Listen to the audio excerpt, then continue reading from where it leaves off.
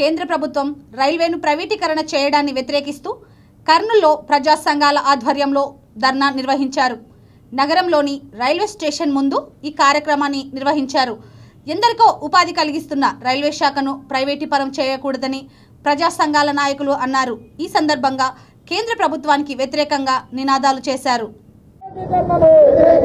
వ్యతిరేకించండి ప్రభుత్వ రంగ సంస్థల ప్రైవేటీకరణను వ్యతిరేకించండి ప్రభుత్వ రంగ సంస్థల నరేంద్ర మోడీ నరేంద్ర మోడీ.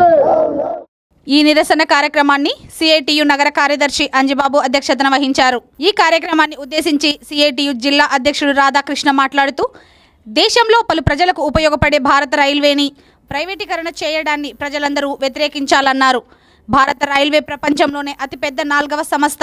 భారతదేశంలో ఎక్కువ మంది ఉపాధి అవకాశాలు కల్పించే ప్రభుత్వ రంగ సంస్థ.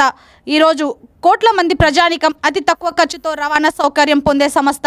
అట్లాగే భారతదేశంలో ఒక లక్ష తొంభై ఏడు వేల కోట్ల ఆదాయం కలిగినటువంటి ప్రభుత్వ రంగ సంస్థ దాదాపు పదమూడు లక్షల మంది పనిచేస్తున్న ఇలాంటి సంస్థ కేంద్ర ప్రభుత్వం ప్రైవేటీ కార్పొరేట్ కంపెనీలకు అప్పజెప్పడం సిగ్గుచేటన్నారు. దేశవ్యాప్తంగా లాక్డౌన్లో ప్రజలు ఉంటే కరోనాతో తీవ్రమైన ఇబ్బందులు పడుతున్న ఈ కాలంలో ప్రజలకు ప్రభుత్వం సహాయం చేయాల్సింది పోయి ప్రజలకు ఆసరాగా ఉన్న రైల్వేలోని వన్ నాట్ నైన్ లైన్లు వన్ ఫైవ్ వన్ రైళ్ళు ప్రైవేటీకరణ చేయడం అంటే మూలుగుతున్న నక్కపై తాటికాయ పడినట్లు తీవ్రమైన ఇబ్బందుల్లో ఉన్న ప్రజలపై వేటు వేయడమే అని అన్నారు. రైల్వే ప్రైవేటీకరణను అన్ని ప్రజా సంఘాల ప్రజలు వ్యతిరేకించాలని కోరారు.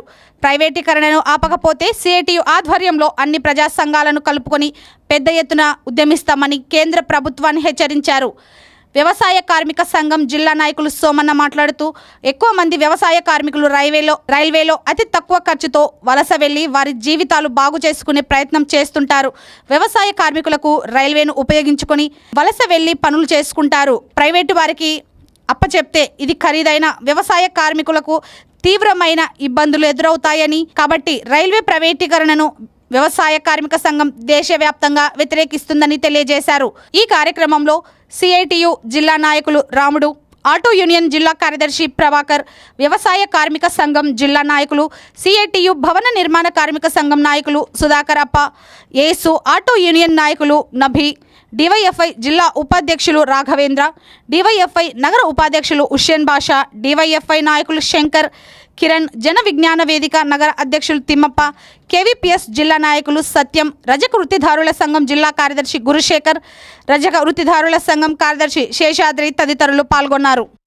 ఈ రైల్వే ప్రైవేటీకరణ చేయడము చాలా దురదృష్టకరము.